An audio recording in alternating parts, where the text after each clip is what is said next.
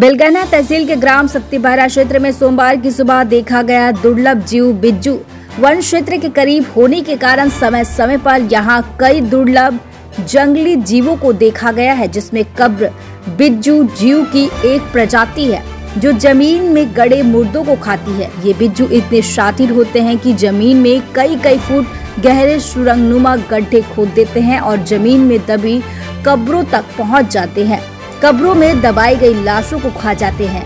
आमतौर पर रात्रि में विचरण करने वाला यह दुर्लभ जीव कभी कभी दिन के उजाले में भी देखा जा सकता है।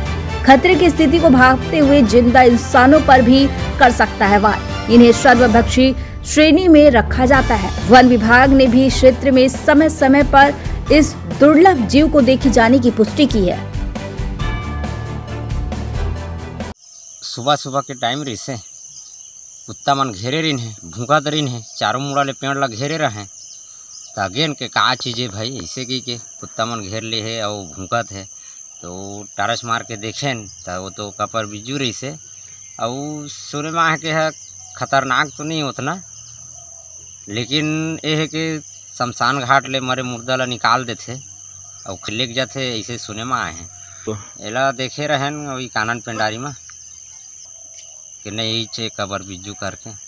मन के परिचय? राम खुसरो। कौन गाँव? शक्ति बहरा। बेलगाना से Ram Pratap Singh C G vision TV.